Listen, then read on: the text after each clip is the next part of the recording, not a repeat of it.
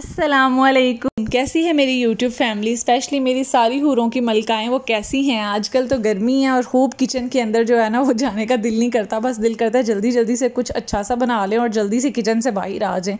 गर्मी जो बहुत ज़्यादा है, इसीलिए मैं आप सब लोगों के लिए एक बड़ी ज़बरदस्त, झटपट सी रेसिपी लेके आई हूँ, जिसमें सब कुछ ऐड है।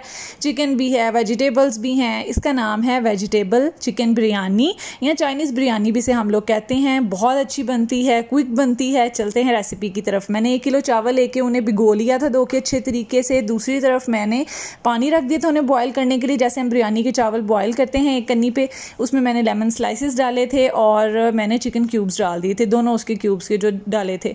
ताकि इससे बहुत अच्छा फ्लेवर आ जाता है। नमक आपने चावलों के मुताबिक जो है वो ऐड कर लेना है। और इससे जो है ना आपके एक एक दाने के ऊपर जो है वो जायका आ जाएगा।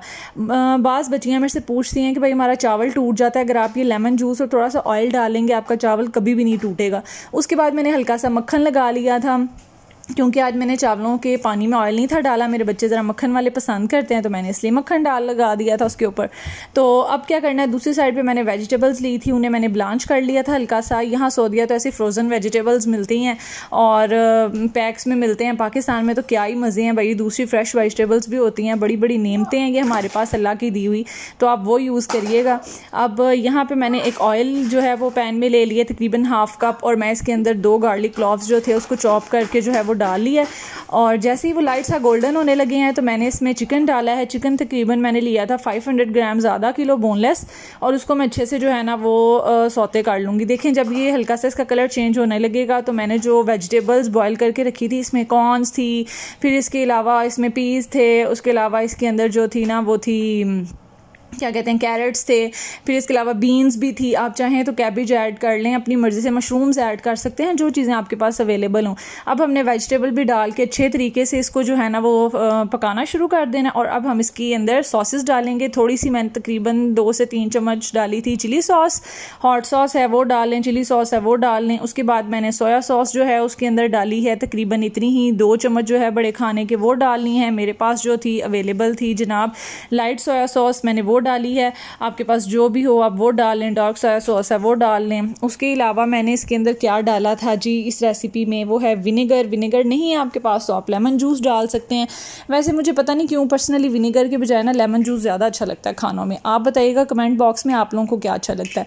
इस तरह मैंने काली मिर्च डाली है, एक चम्मच, और इसके बाद मैं सॉल्ट डाल रही हूँ। ये मैग्नीशियम सॉल्ट है, मेरे से किसी ने कमेंट में पूछा था, आप पहले दूसरा सॉल्ट यूज़ करती थी। और अब आपने ये वाला सॉल्ट यूज़ किया, इसमें क्या कोई फ़र्क है? जी, बिल्कुल फ़र्क है, ये लाइट वेट होता है और ये आम जो आयोडीन वाला सॉल्ट है, उससे बहुत ज़्यादा अच्छा होता है। उसके अलावा मैं इसमें जो है ना, वो डाल रही हूँ, ये मैगी मसाला होता है ना चिकन वाला, वो डाला है मैंने। अगर आपके पास नहीं है तो आप क्यूब भी डाल सकते हैं। और इसको अच्छे तरीके से जब ये पक गया तो मैंने उसकी एक लेयरिंग दे दी नीचे। उसके बाद मैंने राइस की लेयर लगाई, जैसे हम बिरयानी में लगाते हैं। और सिंपली इसको इसी तरह लेयरिंग करने के बाद, ऊपर से मैंने इसके ऊपर हल्का सा जरदा रंग डाल दिया था। जरदा रंग मैंने देखिएगा ड्राई भी डाला और थोड़ा सा पानी में मिक्स करके भी डाला है। इससे बड़ा ही परफेक्ट और खूबसूरत सा कलर आता है। ये टिप आप भी फॉलो करिएगा, बहुत इंजॉय करेंगे और क्या ही प्यारा कलर आएगा, ऐसे लगेगा बिल्कुल रेस्टोरेंट स्टाइल बने हैं।